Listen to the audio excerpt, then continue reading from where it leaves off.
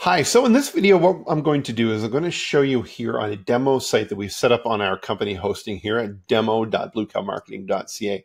And it's just a basic WordPress install. So what I'm going to do is walk you through the difference between using the standard WordPress editor and then using Thrive theme builders. Now, what Thrive themes are is it's a suite of WordPress templates. Uh, there's plugins, there's an architect builder, which is what we're going to install here today. Uh, and I'm going to really show you the power of what you get with this whole Thrive suite. Now, every website that we build for our clients, we use Thrive for that just because of its integration with all the other CRMs and marketing systems, but also the ease of use. So if you're very new to using WordPress, if you've never even actually installed anything, this is going to be helpful for you to get an understanding of how easy it actually is to do that. And then also when you see the Thrive Theme Builder in action, that's going to be an eye opener for you. So the first thing I want to do is show you what the standard WordPress editor looks like because nothing's been installed on this application as of yet. So what WordPress is just to back up a little bit, is a CMS, a content management system, which means it's all online based. You don't need to download any software or anything like that. Basically, if you can get online to a web browser, you can access your website. So here we are at demo.bluecowmarketing.ca. We're going to go ahead and we're going to go slash WP hyphen admin. And this is going to take you to the admin login side of the site. Now we've got our login already saved here. So we're going to go ahead and log into the back end of the site.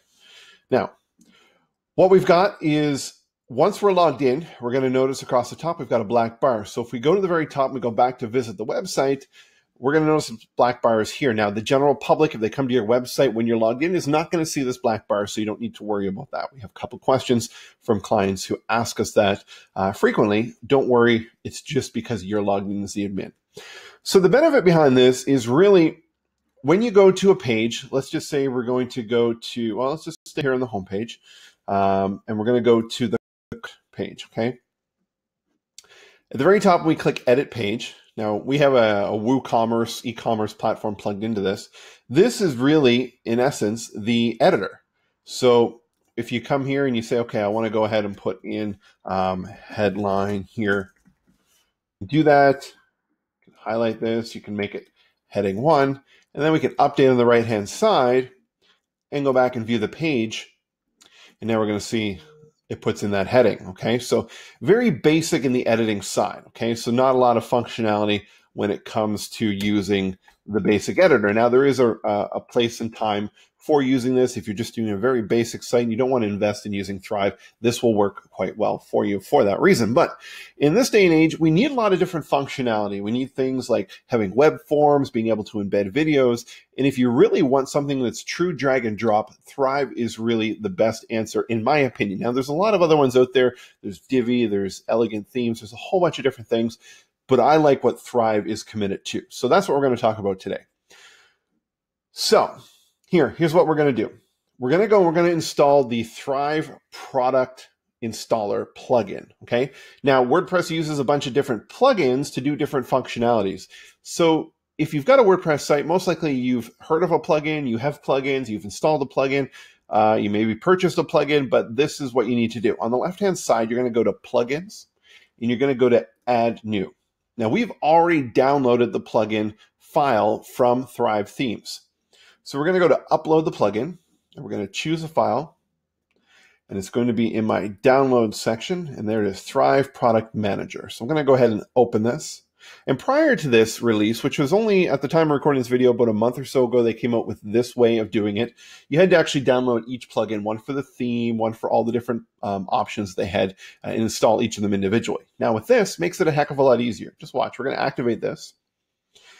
And then once it's activated, what we're going to see here, it takes us here and we can see all the different plugins that are currently installed. Okay, so I'm just going to move my lovely face out of the way here for a second.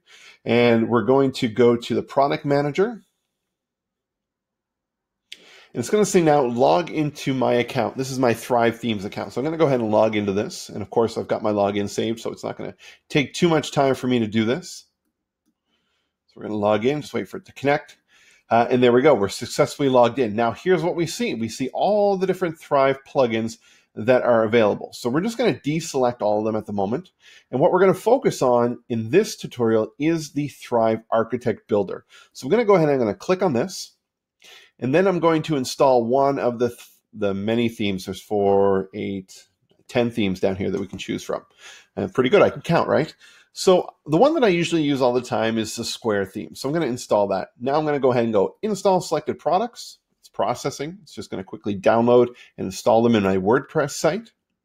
And then once that's done, I'm going to get the option on the bottom to activate them. So there we go. So those are done. They're in there. Let's go to the Thrive dashboard. And just like that, they're all installed and they're ready to go. So let's actually going to move myself over to the right hand side here. Not sure if you can see me moving my face around the screen or not. Um, but we're going to go and now. We're going to activate that theme. So we're going to go into the theme side, and we have this storefront theme before. We're going to activate the square one, the one we just installed. So now this is the main theme. So what I'm going to do here is I like to, to go between two tabs. So keeping the, the one tab for the back end of the site. And I'm going to go up here and I'm going to actually view the site in another tab. Okay, I just hold down command on my Mac. And now we've got this, this theme here. So this is really the same thing um, that's installed. Now, let's go ahead here and we're going to quickly add that primary menu. So we're going to go to WooCommerce, Appearance, and Menus. And we're going to make a menu. So we're going to say create a new menu and we're going to call it main menu. You can give it any name you want. Doesn't really need to say main menu. You can call it top menu, bottom menu. You can call it happy day menu. It's all completely up to you. Uh, and then we're going to assign that to the memory look or the menu location. So in this theme, there's two. There's a primary at the top and there's a footer in the bottom. We're going to put it on both just for the sake of time. You can always remove that later. And now we're just going to go ahead and I'm going to throw in some of these pages to that menu. I'm going to add it to the menu and we're going to hit save. And the reason we're doing that is when we come back here, we're going to see that the menus show up here uh, and it's fully integrated still with the shopping cart that we had with WooCommerce. Now let's go to the shop page. So this is the page that we edited before. Now in this time, actually, hold on, we got to do one more thing here. We have to go back to the plugins. We have to go down here. Actually, no, we don't. Let's go ahead and actually make a new page. So let's just call this the home page. And we're going to say publish. And now this looks very similar to the, the old editor because it is the old editor. We have to engage the Thrive architect and we've got the option to switch between using the old one or the new one. So we're going to see this green button now shows up for launching the Thrive architect. Now, remember before, this is what the experience was. This little box here, you would have to type in content and so forth. Watch this. We click on this, opens up another tab. Now we've got a full immersive experience to edit this page. Now keep in mind, we haven't customized the theme and put logos and all that kind of stuff. But really what it is, is it shows you what the site looks like. On the right-hand side, you've got a bunch of icons. So you can hit the plus sign here and you can see all the different things you can add to this page. So if we want to add a header, we just click on it. There's our header. So we can give it a name. So this awesome website header. You're like, oh, okay, uh, I want to change the color. Well, highlight that. And now on the left-hand side, you've got your inspector. You've got all the different tools that you can use to adjust this element. So we want to change the color. So we want to go to um, a different blue, or maybe you know your exact hex code, you can put that in there. Um, so the other thing that I absolutely love about this is once you find that that sweet color that you want to use, you can go, okay, let's add it to my colors, and now it's down here, okay? Uh, and it's going to be a global color color throughout the whole site. So anytime you load another text element, you want that exact blue, you can just pick it from the bottom. So we can apply that. You want to change the font size? Oh, we love sliders. We can slide it around exactly the way we want want to center it, we can do that, okay? Now, let's go ahead and put in some text. So we can say, okay, let's let's throw in a paragraph here. So we're going to go ahead and we're going to put, uh, this is where you say awesome stuff about a website. Okay. You can put in the paragraph there. Want to throw in an image? Hit the plus sign. We can pull out an image and we can drag it and move it around. So when we move it around, wherever that blue line is, that's where it's going to insert that image. So maybe we want to put it on the right hand side. So we can pop it here. It's going to open up. It's going to say, okay, what images do we already have installed on our WordPress site? So we can choose one of those. Or we can click upload and pick a file from your computer. So I'm going to go ahead and use one of the ones that's already here. We're going to insert that. We can change the size here on the right side. We'll go full size. Insert that image. Again, just like the text, you can click on it. You can drag and drop and move it around. Maybe you want to go, you know what, you want to have this to the right. So we're going to go to the positioning and we're going to move it to the right. And then we're going to go, and we're going to pull this text over so it bangs up against that. And now you've got like a two thirds and one third kind of split there. Let's say we want to go ahead and we want to put in a video. Okay, so now we can go ahead. And obviously I'm not taking into account um, you know, laying outside so it's aesthetically pleasing. I'm just showing you the different things uh, and the most common things that you can actually put into one of these sites. And we do this all the time. So we're going to pull over a video. We're going to put it below this. Oh, we don't want it there. Okay, so here's a good point. If I dropped it in there and I didn't like it there, I can either delete it or I can click the little crosshairs and I can drag and relocate it. Okay, so I want to go below that paragraph and insert a video. Okay, so on the left side, I can put a YouTube, Vimeo, Wistia, or a custom video. Let's go ahead and just grab a YouTube video of our choosing. And I keep in mind, I've got kids, so there's a lot of Paw Patrol type of, of videos in here. So let's just go ahead and pick one of these. We won't spend some time watching it. For project management. Okay. Cool. Okay. So that's great. Project Manager Cool is called Monday.com. Um, so we're going to go ahead and come back here and we're going to go YouTube video, paste in that URL.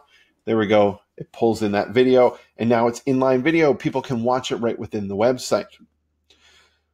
So there's a lot of different things that you can actually put into play here when it comes to using this builder. Here's the other thing that I absolutely love about this. You know that not everybody's coming to your website when it's on a desktop computer. So making sure that your site looks great on a mobile device is key these days.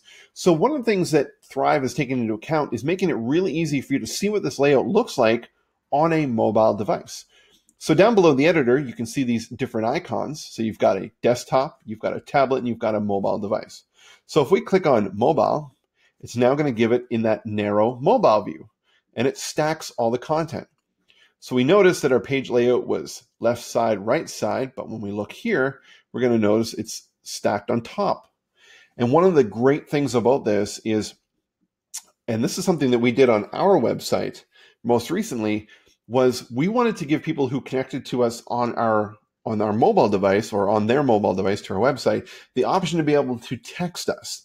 And there's no point to have that button on our website when it's on a computer because nobody's going to click on it and text through their computer. Okay. Or they're not even going to write down the number and text in. So what we're going to do here, this is a little hack tool that I'm going to cheat you or a trick, is we're going to come to the, this tool side and we're going to throw in here a button. Okay. I'm just going to throw it right below here just so we can see it. Now buttons are used a lot within Thrive. And again, I'm just showing you some basic stuff in here. So we're going to go ahead and we're going to make this button. click on the background. We're going to use our standard blue color that we saved before. And we can choose different color buttons or shapes. I like the round button here. It does go back to the default color. And we're going to give it a title and we're going to call it Tap to Text Us. Okay. Now let's program that button. Now, to get any button to link to a text message, what we're going to do is we're going to go and we're going to put SMS colon and your number. So our number is 902 300 3030. Uh, and there we go. Now that would be programmed. Now this is showing up on the desktop view and it's also showing up on the, the mobile view. Okay, this is where we want it to stay. We don't want it to be here. And this is what I absolutely love. When you click on an element and you come down here to responsive, you can say element visible on which devices. So we don't want it on the desktop. We don't want it on the tablet. Okay, we only want it on the mobile device. So you can see it's not showing up there. But when we look at the mobile device, it's there. Excellent, right? So now you can have a different experience and different elements and different links to people on mobile devices. So if you've got a lot of elements on there that people might not really need to see because they're just quickly looking it up on their mobile device, you can turn that off and only make it available on a desktop computer. So that's really what I wanted to show you in this video is really the difference between the two editors. Okay, you've got a lot more functionality. I mean, we could spend hours going through showing you all the different stuff that you can do in this. And really the best part about it is the flexibility and the functionality because you can do a lot of stuff within it. What I'm going to show you in another tutorial here in this post is the lead capture and the exit intent. So if you want to learn more about that, either find the second video on our YouTube channel or scroll down further in this post and you'll be able to see that video on using lead capture using Thrive and the exit intent as well. So thanks for watching and we'll see you in the next video.